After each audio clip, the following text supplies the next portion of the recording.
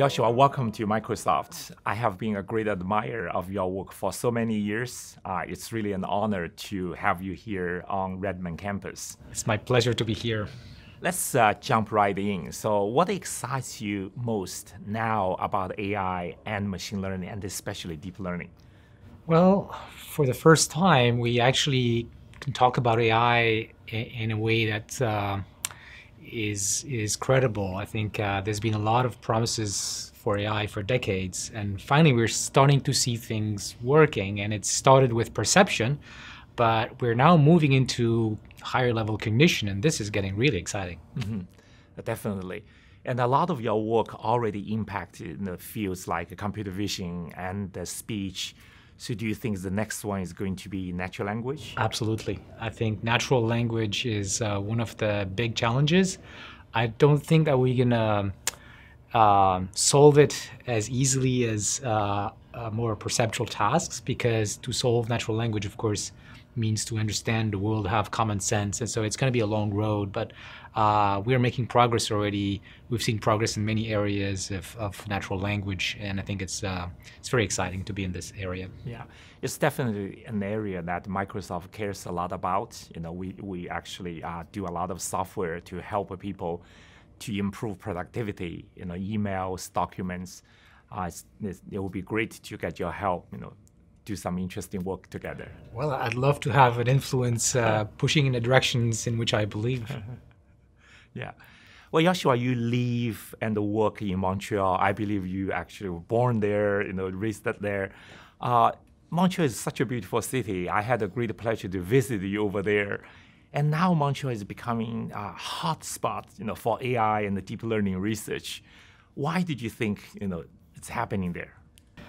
Well, I think it's essentially because we we had this we have this critical mass of very strong researchers, basic research, and um, the university has believed in this area. We have grown the group. We have many faculties doing doing that, and of course, we were there at the right time. We made the right bets uh, when when neural nets were not popular, and and now it's a virtuous cycle of um, uh, companies coming to Montreal, investment coming to the city, large funding from the government, everything feeds the other. You know, I really admire your work there and what you have done for the university and for the city or even for the country of Canada. Uh, it's very inspiring to me. Thank you. Uh, I, I, do want to ask you about Maluuba. You, know, uh, you have been uh, uh, an advisor to Maluuba, the start, startup company that we recently acquired. Uh, you have been uh, helping them, uh, giving them advice, directions they go. Tell us a little bit more about Maluuba. Why were you excited working with them? what's exciting there?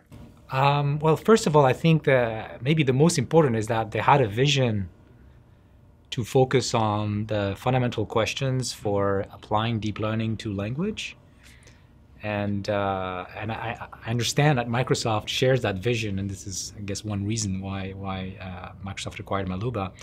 Um, and they tried to tackle some what I consider really hard problems to understand texts.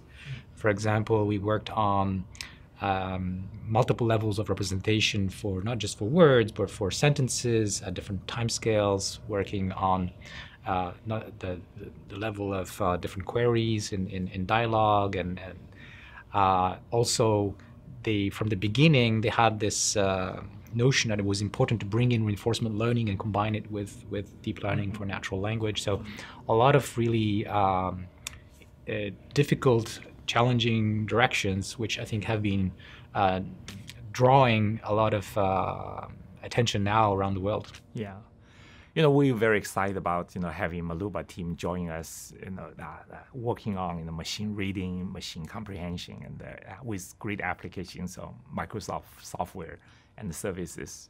Yes, uh, I think I think that the, it's great to have companies like Microsoft focus on these uh, tasks like machine reading and machine comprehension, because these tasks have both very short term applications, which would be worth a lot in many products and services, but at the same time, uh, involve long term challenges about AI. So I think it's a great uh, opportunity to combine the forces of basic research that you have in Microsoft Research with uh, the skills in building Microsoft products. Yeah. Well, we're very honored to have you uh, uh, spending uh, time with us and uh, guiding us on certain areas. You know, we should get into, should double down, have more investment. Uh, to your understanding about our company, you know, what do you think? You know, at this moment we should do. You know, we just had this good chat. Uh, you just talked to our CEO Satya this morning. Yes. Yeah. What advice did you give to him? Um, I believe that um, problems like machine comprehension, if if we're not careful, um, or dialogue, could lead us into short-term fixes, taking current technology. Um, but people have really to realize that we are far from human-level uh, AI. That there's so many fundamental missing elements in what we're doing to reach the point where uh, machines will be really able to com- comprehend what we do at the same level as a human.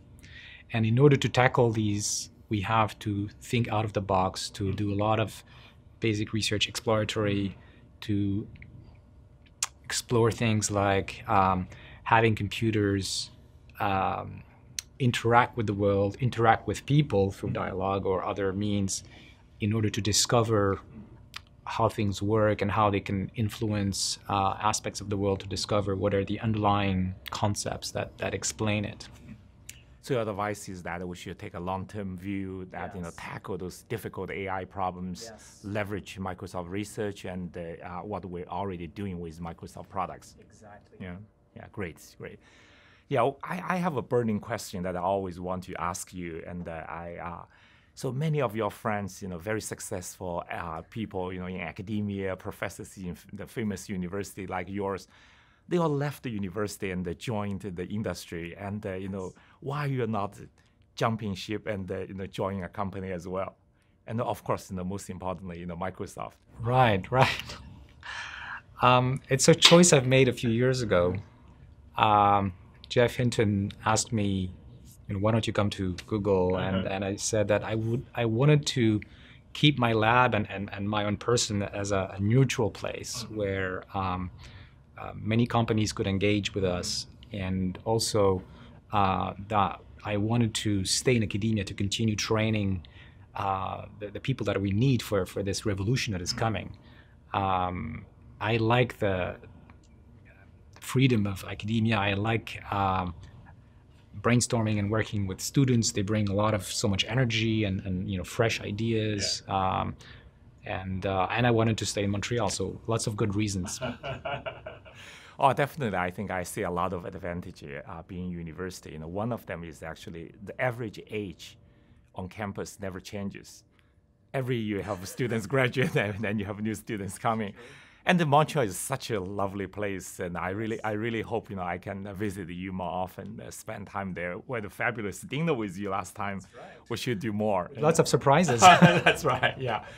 And I want to talk a little bit about your book. And uh, you, you, you, you wrote this incredible book, and uh, I'm only halfway through myself. And uh, uh, I, I understand. I think I understand how difficult it is to write a book, and uh, it's a, it's a very very big book.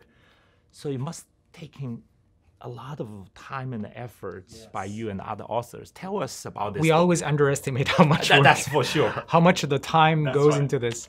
right. Also, I must say that uh, it, it has been possible because of amazing co-authors. Mm-hmm. Uh, Ian Goodfellow and Aaron Courville uh, and I. I mean, we really worked together as a team on this, and I wouldn't have been able to do this alone.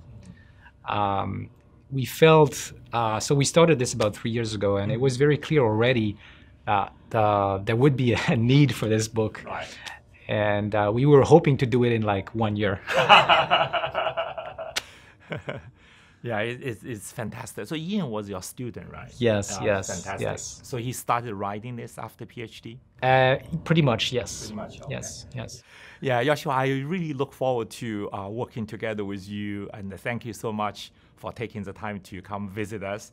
Uh, I, I look forward to having more opportunities talking to you and learning from you. Me too. And uh, thanks for having me. Of course.